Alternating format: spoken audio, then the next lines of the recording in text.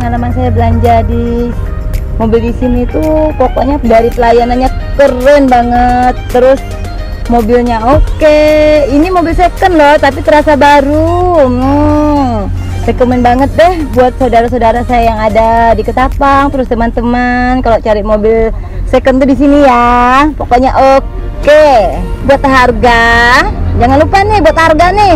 Bersahabat banget pokoknya cocok di kantong keren deh pokoknya keren banget. Sip